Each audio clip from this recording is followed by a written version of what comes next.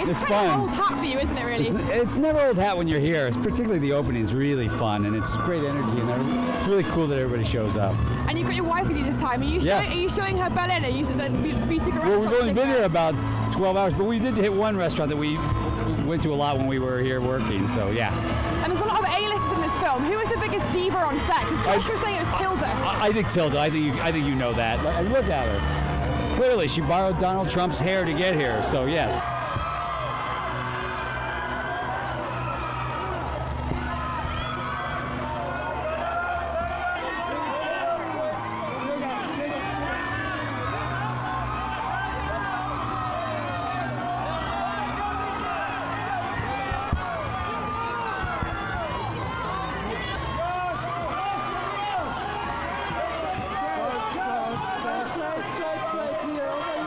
It's great. You know, we were here once once before opening the festival, and, and it worked out very well for us. So everybody's very nice here. And look at you got you know people are into it, and it's cold. I like that they it's not May. The shooting looked like a lot of fun. How was it? working Great, together? really, a lot of fun. Was there, who was the biggest diva on set? Because obviously you've got quite a lot of A-listers. Was there anyone that was kind of out of control? Yeah, Clooney for sure. No, who else? Who else? What? Tilda, Tilda Swinton, diva, major diva.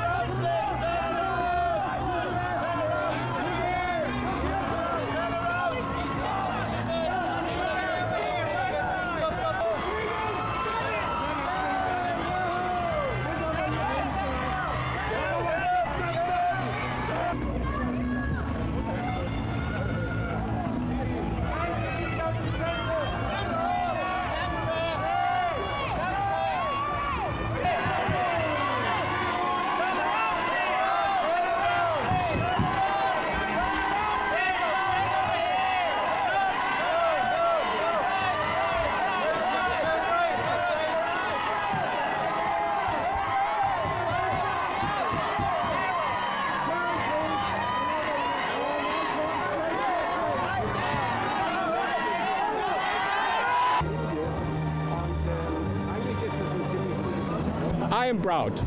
Meryl is just the president, and I, I don't know, she will be proud maybe at the end of the decision, but the Berlin Fes- Festival is very proud to have her and to have her presence, and she's one of the greatest actors, and I think the fans here show how they love Meryl, and everybody loves Meryl. I mean, I never met somebody who doesn't like Meryl.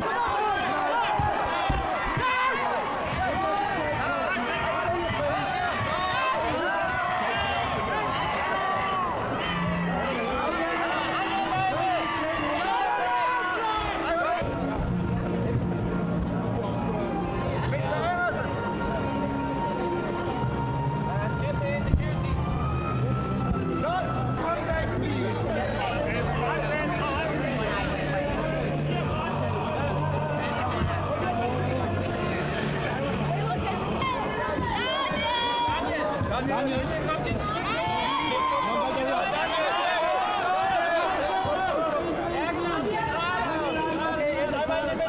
Yes, it is, and uh, I mean I live in Berlin, so um, my relationship to the festival is very close. Uh, for me, everything started here uh, 2003 when I was uh, a shooting star this year, and I had my first big premiere with Goodbye Lenin.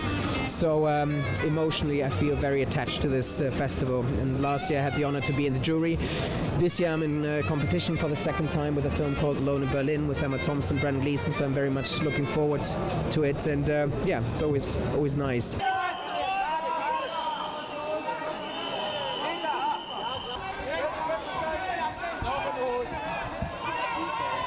Together,